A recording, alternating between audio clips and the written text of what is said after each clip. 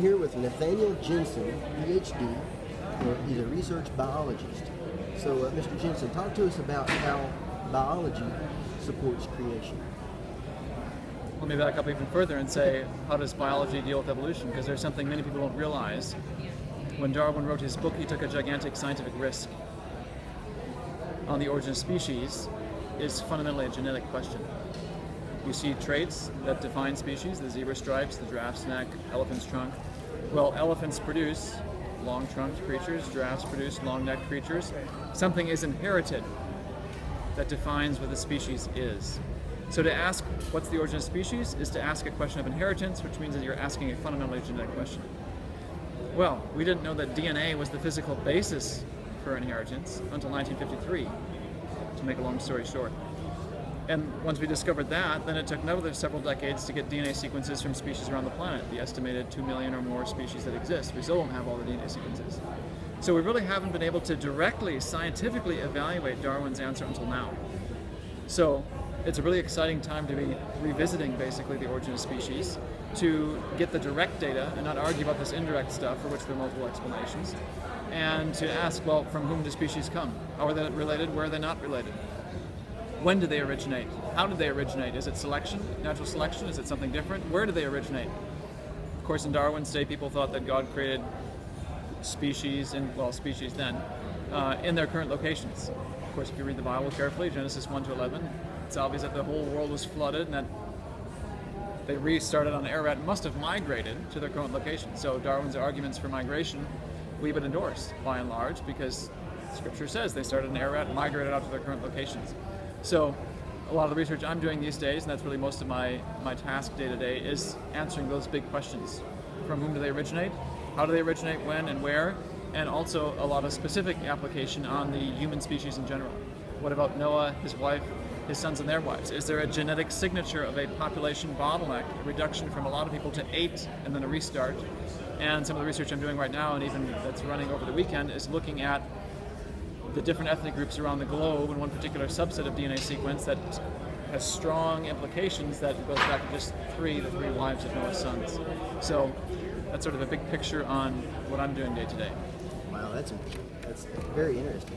Um, one thing that I've noticed on the ark is that technically, generally, we hear people talk about Noah couldn't have put all those species on the ark, but the Bible doesn't say species; it says kinds. Can you talk to us about that?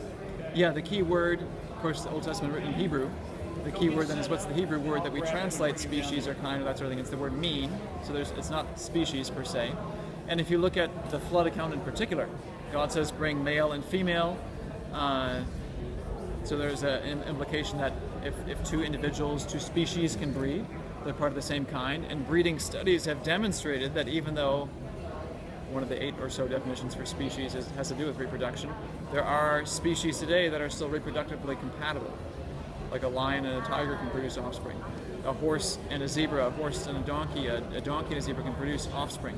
So not species, but probably not even genus, but maybe a level of family. If you think about the traditional classification categories, all horses, donkeys, zebra species, seven living today, would belong to the same family. All cats, large and small, from the house cat to the lion, belong to the same family. So Noah appears to have taken two felids, two members as a general rule, of each family on board the ark. And since today we see lots of species in each family, new species must have formed in the few thousand years since the flood. And we'd also say one family cannot be changed into another. After all, if they could, there's no point in having an ark. If you could just, you know, have a few whales survive and then they evolve back onto the land, there's no point saving anything on the ship. So the fact that there needed to be an ark shows by itself that one kind of creature cannot take and change into another kind of creature. That would be macroevolution. We do see microevolution, small changes. Can you talk about that? So one of the key questions we're trying to answer right now in understanding the origin of species, and one that Darwin had no access to because of the entire community's ignorance of genetics, is what is the origin of the genetic information behind traits? And one of the most important elements of this is the fact that so many species, like humans, have biparental inheritance. You have a mother and a father. It's not asexual like bacteria, it's sexual reproduction. So that means both parents contribute something to the offspring genetically.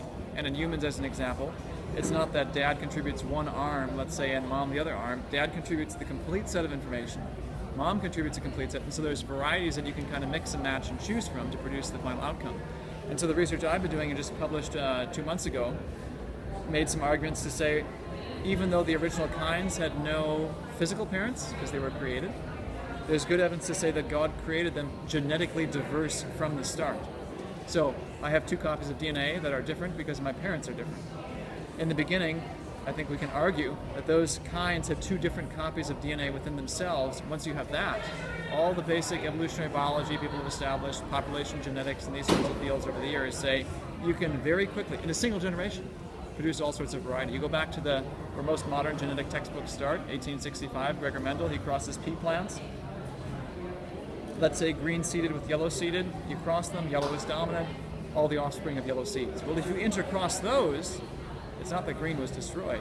Green reappears and yellow in the next generation. So I'm saying that state is basically what God created the creatures like. They will look like one thing, but just a few crosses, boom, and you got all sorts of variety. You can do it in a single generation. So Noah didn't need hundreds of dogs; he only needed two. Two dogs, and in fact, I would say two canids. So the dog family has everything from wolves to coyotes to foxes and so forth, and he could easily produce the 36 or 37 species, whatever the number is today, in, in a short amount of time. What about dinosaurs? Noah would have taken those on board the ark as well. There's some question about how many dinosaur kinds there are, but what we just discussed applies equally well there. Not two of every species of dinosaur, but two of each kind of dinosaur. Again, it's a little bit harder to establish ancestry in the absence of genetics. Kind of hard to do genetics on dead things sitting on the ground, uh, despite scientists' best efforts and claims otherwise. And so, two of every kind, and again, we all, we put on display the biggest ones because those capture my imagination and everyone else's imagination. They're just so huge. But Noah likely would not have taken those for a number of reasons, not just so we can try to cram them in, but the purpose of bringing them on board the ark, the explicit purpose in Genesis 7, is to preserve their seed. Unfortunately, I think the New King James says species there, but the word is the same thing you see later on in Genesis 12 to Abraham and his seed. It's clearly meaning offspring. It's sort of a, a recreation event. Instead of speaking things into existence from nothing, God saves him on the ark and says, restart. There's a similar, you know, be fruitful and multiply there as you have in Genesis 1. And so, which creatures are going to be most reproductively healthy or be able to reproduce the most and repopulate the earth after the flood? Well, the juveniles or the, the young adults, not the grandfathers. And so, dinosaurs are reptiles, and reptiles just keep growing. What we put on display in museums are probably the grandparents or the great grandparents, and those are not representative of the juveniles, the most reproductively fertile that Noah likely would have taken board the ark. So dinosaurs really then are just lizards or reptiles, lizards, but reptiles that have lived for a long time. The big ones are ones that have lived for a long time, and the reason we don't see them today is probably the same reason we don't see 70% of mammal families that we don't see today. Dinosaurs get the press because they fascinate the imagination, but the vast majority of mammal families no longer exist today. And so that's some of the things people see on the board of the Ark here as some of the extinct kinds that Noah would have seen but have since died out. So what about the law of biogenesis? Doesn't it say something like life cannot come from non-life? We always see is life coming from non-life. Uh, we've never seen life spontaneously arise. Scientists have made progress in synthesizing parts of life in the lab. It wouldn't surprise me if they do, because what have we been saying all along? That it requires super intelligence to create life, and if we see super intelligent people create life, well, that proves the point. So that really just proves that it took intelligence to create life in the first place. Exactly. It makes sense. So where can our readers learn more about biology and how it supports creation? You can go to the Answers in Genesis website.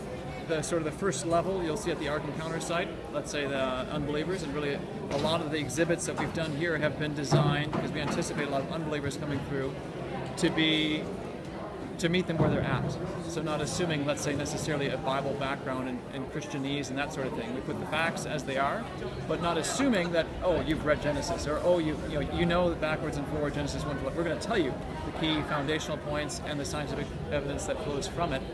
So Ark Encounter would be sort of your entry point. Uh, Answers in Genesis has I don't know how many articles, and we're continually updating our research. I'm doing a series that's going on right now uh, like an 11 part series on the origin of species after the flood. In fact, this past weekend's article, it comes up on Saturdays typically, was Did Darwin argue for the recent origin of species? And I think you can make an argument from his first two chapters using his analogies that species must have originated recently, not millions of years ago. maybe last question, unless another comes to mind. Some say that since there are no transitional forms, that maybe uh, evolution happens spontaneously. That an animal, for example, uh, an alligator or a lizard, laid an egg and a bird came out. Talk about that. The hopeful monster idea, I'd say it's probably been rejected by the majority of the scientific community ever since Darwin. They've basically been gradualists. They would say we can find creatures that blend the features of two different species, which, from my perspective, the, the definition of transitional form has has been massaged a little bit. When you think about it, what creatures blend the features of two different creatures? The platypus blends all sorts of features. Uh, and furthermore, let's say we find a bona fide transitional form, something that's like half amphibian, half fish, that they would predict to, to find if, if fish did evolve into land creatures. Well, you look at what humans design, and since we're made in the image of God, I think that gives us a sense, maybe a taste for the principles God might have used in Genesis chapter 1. Humans design transitional forms by that definition. Military engineers design ships for the water, they design tanks for the land, and if they want to go between those two, they design amphibious assault vehicles that blend the features of two very different structures. They are not as good as tanks in the land, they're not as good as boats and uh, ships in the ocean, but they are perfect and well adapted, well suited to that transitional environment and exceed both of those in their ability to go back and forth. So even if there was a whole list of transitional forms, this is what humans design. How much more so would God design creatures that blend features for transitional environments?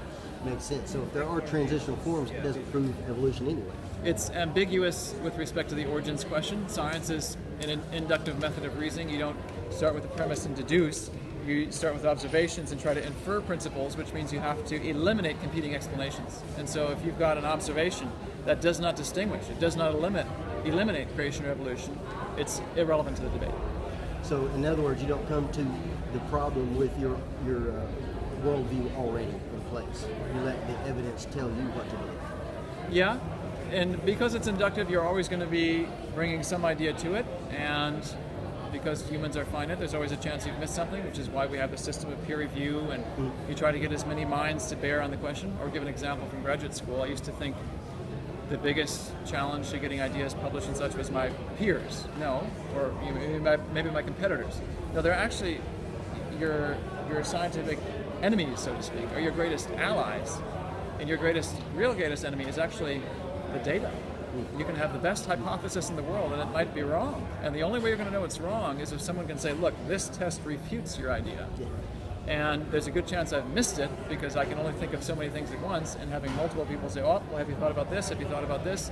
That's what helps narrow down what hypotheses still stand, which ones have been rejected, and that's the biggest hurdle in the creation evolution debate. The evolutionists tend to reject and not even consider or solicit the input of creationists who have a lot to bring on the question, bring to bear on the question, and could really help advance the debate by leaps and bounds. So an honest look at the data really would support creation and reject evolution. Yes, especially I'd say in my field of genetics that we've been doing. There's I think some really new, strong challenges. In the article that will be coming out this Saturday, we'll, t- we'll talk about some of those, not only on the term question of ancestry, but the question of time. There's a genetic clock that ticks in species that points towards a recent origin, not a millions of years origin. Do you have any final thoughts for our readers?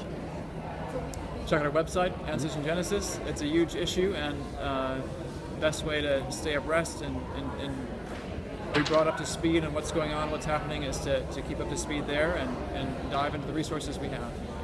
Thank you very much. I appreciate it. Thank you.